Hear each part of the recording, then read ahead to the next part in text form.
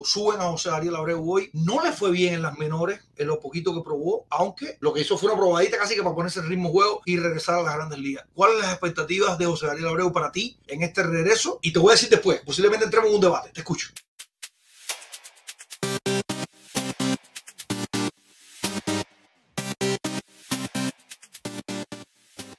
Bueno, Abreu, obviamente en los juegos que jugó antes que lo bajaron, tuvo muy, muy mal, de 71-7, un promedio de 0.099. Pero aunque tú dijiste que las estadísticas de las ligas menores no, tuvo tan, no estuvieron tan buenas, él se siente bien. Él dijo en una entrevista, un artículo de la Athletic que leí, él dice, eso, esto me hizo darme cuenta de para qué estoy hecho. Pasar por esto me hizo darme cuenta quién soy. Entonces se siente bien, se siente renovado, se siente renovado. Yo espero un veterano, más o menos lo que vimos la segunda mitad del año pasado, que todavía puede darte turnos profesionales, te puede dar turnos productivos, impulsar carrera, que ha hecho su carrera entera. El año pasado tuvo un año malo, pero todavía impulsó una pila carrera. Entonces yo espero si si él se siente bien mentalmente y físicamente, él todavía puede ser un bateador por encima de promedio en esta liga. Y los Astros están bateando ahora. él va a tener chance con gente en base.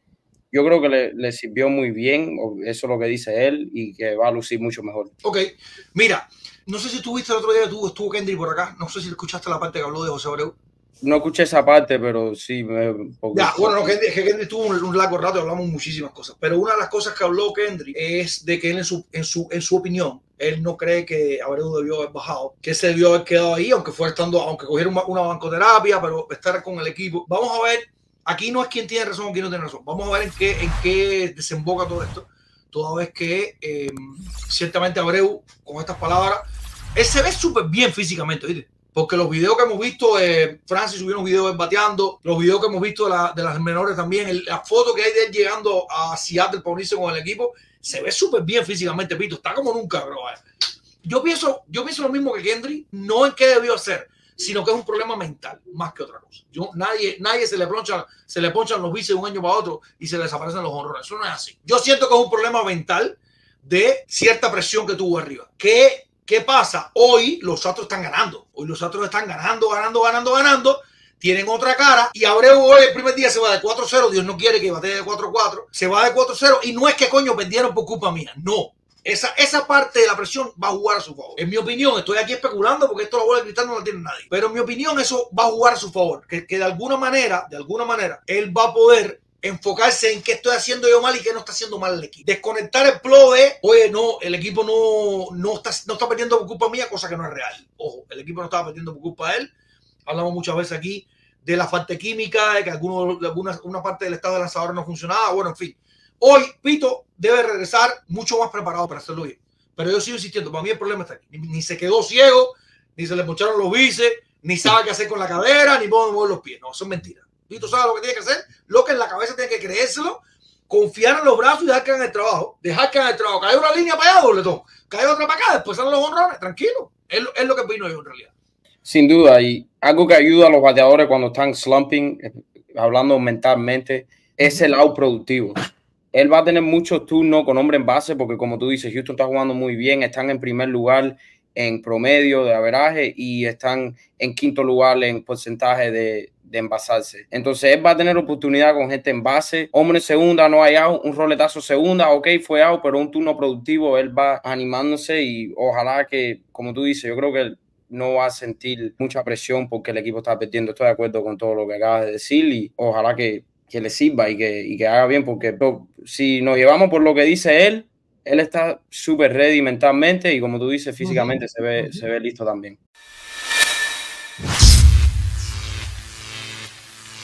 los Astros, para, terminar con el tema.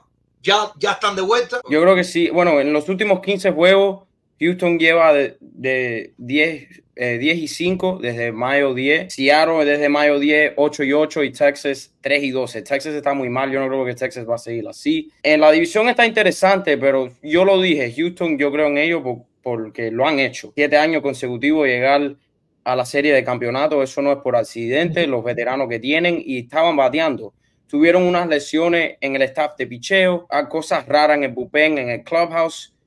Como hay tantos veteranos y tanta gente que han ganado juntos, yo siempre he creído que eso se iba a ir y que lo iban a arreglar. Entonces yo creo que ya estamos viendo el equipo que debe ser Houston. Yo todavía no creo que va a ganar la división. Yo creo mucho en Seattle porque Julio Rodríguez no lo está haciendo bien para nada. Cuando él batea bien, ellos ganan.